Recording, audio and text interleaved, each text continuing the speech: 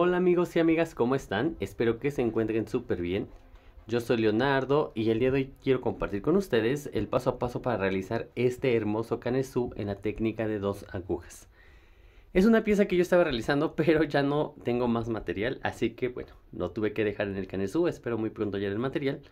Pero bueno, pues en esta ocasión les comparto cómo hacer un punto musgo, pero iniciado desde el cuello en aguja circular o recta, según ustedes lo prefieran y les comparto la dirección de los aumentos para que quede como lo menos visible el raglan.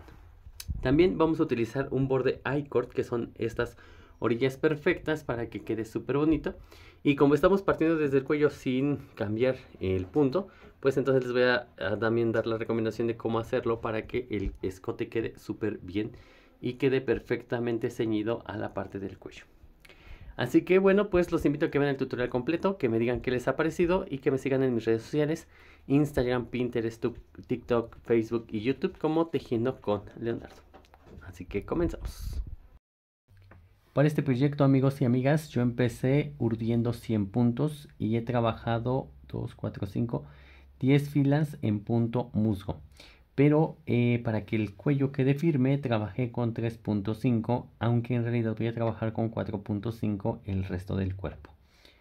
Esto para que quede un poquito más firme y el cuello eh, pueda tener soporte de acuerdo ahora en la fila número 1 que siempre empezamos por el lado revés empecé a tejer un punto al derecho un punto al revés y un punto al derecho y tejí 94 puntos posterior a eso y concluí tejiendo un punto al derecho, un revés y un derecho. ¿De acuerdo? Esa es la fila número 1. A partir de la fila número 2 vamos a trabajar cómo voy a trabajar esta fila para que formemos nuestro I-cord. Recuerden que el I-cord se trabaja con 3 puntos o 2 según sea el caso, pero en este caso es I-cord de 3. Entonces, a partir de la segunda fila voy a pasar primer punto sin tejer, segundo punto lo voy a trabajar al derecho y el tercer punto lo voy a deslizar. De esta manera amigos, siempre que me encuentre un punto, al de, un punto al revés, sea por el lado derecho del tejido o por el lado trasero o por el lado revés, siempre voy a deslizar este revés. Estos tres primeros puntos y estos últimos tres, siempre que me cuente el punto al revés por el delantero o por la parte de atrás del tejido, el revés siempre lo voy a deslizar, ¿de acuerdo? Para formar el I-cord y tenga muy buena terminación mi proyecto. Ahora bien, en esta fila amigos y amigas por el lado derecho voy a trabajar con la aguja 4.5 milímetros así que la voy a cambiar. Y al mismo tiempo voy a empezar a hacer la división de mi canesú que va a quedar de la siguiente manera. Voy a tejer 1, 2, 3, 4, 5, 6, 7, 8, 9, 10, 11, 12, 13, 14, 15, 16, 17 y 18 puntos contando el borde I-cord. Ahora, aquí amigos y amigas, voy a hacer un aumento de esta manera.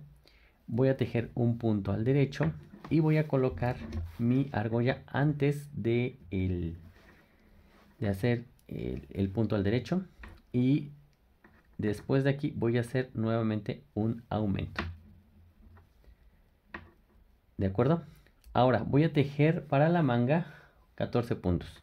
1, 2, 3, 4, 5, 6, 7, 8, 9, 10, 11, 12, 13 y 14 puntos.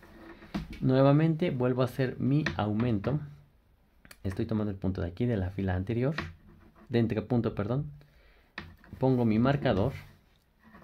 El marcador me va a señalar dónde tengo que hacer los aumentos. Hago el punto al derecho, que es el del ranglan, y trabajo un aumento. Así amigos y amigas, ya tengo trabajado el primer delantero, la primer manga.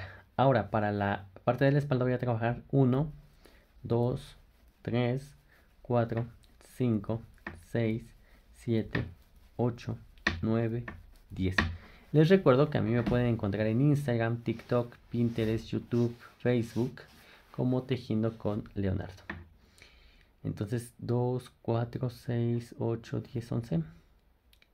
No, a ver. 2, 4, 6, 8, 10, 11, 12, 13, 14, 15, 16, 17, 18, 19, 20, 21, 22, 23, 24, 25, 26, 27, 28, 29, 30, 31 y 32 puntos. Para la espalda he dejado 32 puntos. Nuevamente vuelvo a hacer mi aumento de entre puntos. Pongo mi tercer marcador, que es el tercer ranglan. Dejo mi punto al derecho. Nuevamente levanto un punto de entre puntos, que sería un aumento. Ahora 14 puntos. 1, 2, 3, 4, 5, 6, 7, 8, 9, 10, 11, 12, 13 y 14 puntos. Hago un aumento de entre puntos. Pongo mi cuarto y último marcador. Hago mi punto al derecho que es el Ranglan. Nuevamente vuelvo a poner un aumento y concluyo con 2, 3, 4, 5, 6, 7, 8, 9, 10, 11, 12, 13, 14, 15, 16, punto revés deslizado, 17 y 18. Concluyo con dos derechos, ¿de acuerdo? Muy bien, aquí amigos y amigas ya tengo yo la división del canesú. Cada que eh, antes del marcador tengo que hacer un, un, eh, un aumento paso el marcador, dejo un punto y a continuación hago un aumento. Ahora, por el lado revés de la labor, como les decía, el I-cord se va a trabajar también deslizando el punto revés. Entonces el I-cord por el lado revés se trabaja así. Primer punto sin tejer, segundo punto deslizado y tercer punto al derecho. Y ahora aquí amigos y amigas voy a tejer todos los puntos en punto del derecho. De esta manera amigos, eh, con los marcadores sirve que no nos perdemos en el tema de los aumentos. Porque como el, punto casi se vuelve imperceptible, el ranglan, entonces sí es un poquito difícil eh, distinguir en dónde se supone que tenemos que hacer los aumentos. Pero ya con este método de los marcadores, pues bueno, nos podemos guiar más fácilmente y podemos ir haciendo nuestros aumentos sin mayor problema.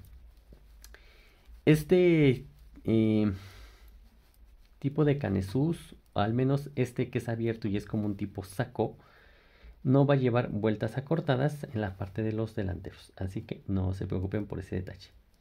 No lleva eh, profundidad el escote. Así que voy a trabajar todos los puntos al derecho y vuelvo con ustedes para mostrarles la secuencia de aumentos una vez más. Comenzamos nuevamente Ahí está, perdón. Vamos a empezar así. Primer punto sin tejer. Segundo punto al derecho. Punto deslizado. Vamos a trabajar 1, 2, 3, 4, 5, 6, 7, 8, 9, 10, 11, 12, 13, 14, 15 y 16 puntos después del I-cord que contando desde aquí serían entonces 19. Y ya se dieron cuenta que ya aumentamos 1. Entonces, antes de pasar el marcador, tengo que levantar un aumento. Ahora sí, paso el marcador, dejo un punto al derecho. Y antes de pasar el marcador, diga, antes de continuar, dejo un aumento. ¿Ya? Y nuevamente dejo 1, 2, 3, 4, 5, 6, 7, 8, 9, 10, 11, 12, 13, 14, 15 y 16 puntos ahora. Nuevamente, antes de pasar el marcador, levanto un punto que voy a tejer en punto del derecho.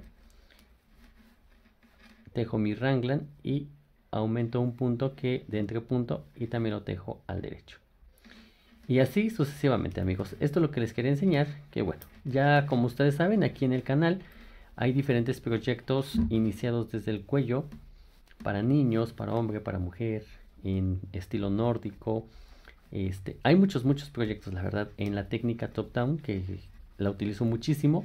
Y pues bueno, ya saben que antes y después del marcador siempre se hace un aumento y nuestro Wrangler. ¿De acuerdo?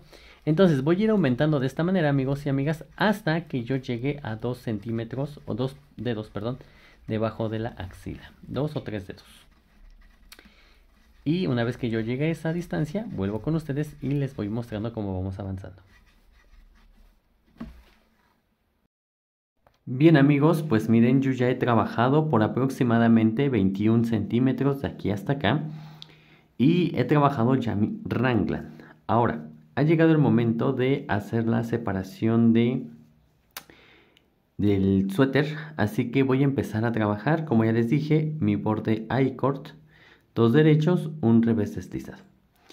Voy a empezar a tejer todos los puntos hasta llegar a donde está mi marcador, para empezar a separar mangas y poder unir el primer delantero con la espalda y vamos a hacer el bajo sisa.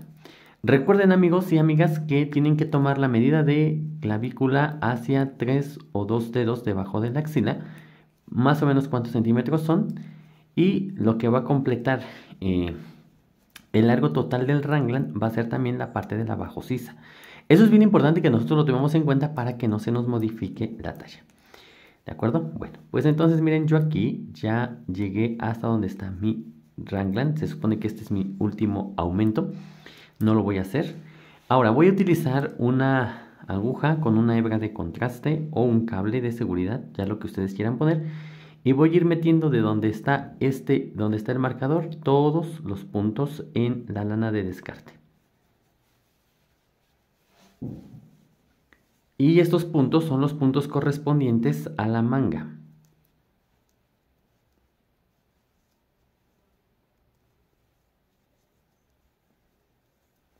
Así, voy a ir metiendo todos, todos, todos los puntos.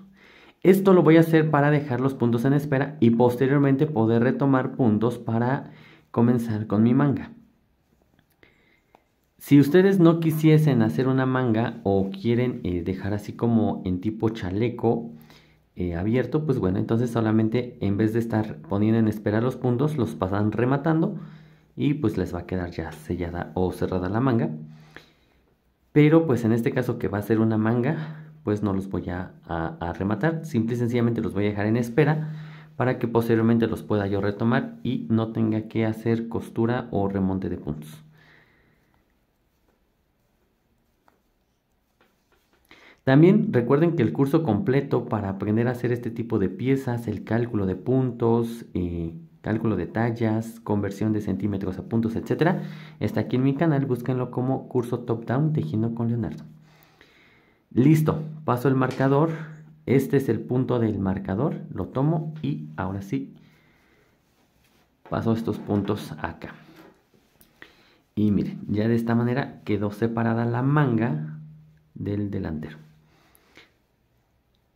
Y ahí está la manga. Ahora, ¿qué es lo que voy a hacer? Voy a hacer la parte de la sisa. Para esto tengo que aumentar 1, 2, 3,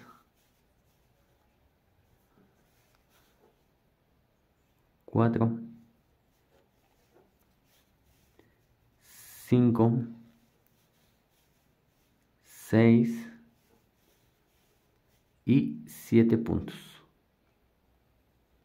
Ahí está. Siete puntos, amigos, son los que yo coloqué aquí en la parte de abajo sisa. Una vez que yo haya colocado estos puntos, vuelvo a tejer ahora todos los puntos de la espalda, que son estos en punto del derecho, y me vuelvo a detener hasta donde encuentre el siguiente marcador. Así que vuelvo con ustedes en ese momento. Ya cuando hayamos llegado acá, nuevamente retiro el marcador y voy pasando los puntos de ranglan a ranglan en la lana de descarte que van a ser los puntos correspondientes a la manga. Termino de hacer esto, voy a llegar y conectar mis puntos para abajo sisa y poder continuar con el siguiente delantero. Ya he terminado, entonces vuelvo a colocar 1, 2,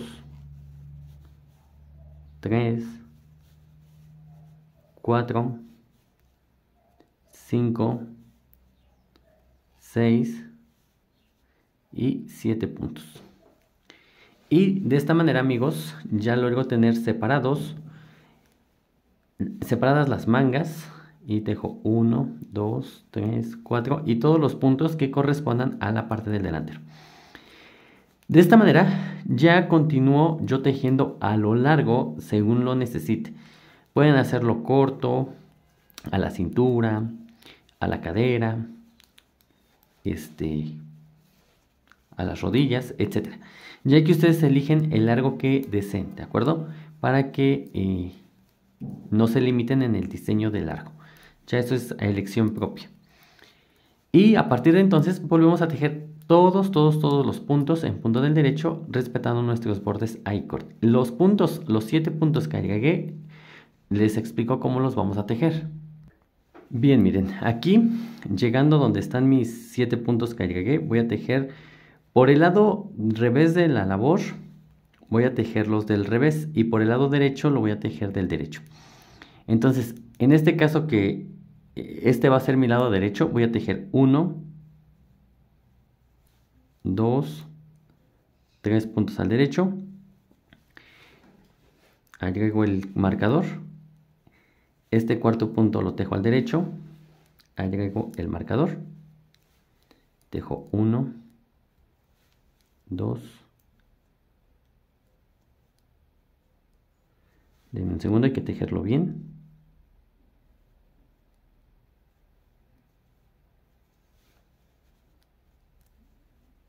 y 3, ¿de acuerdo?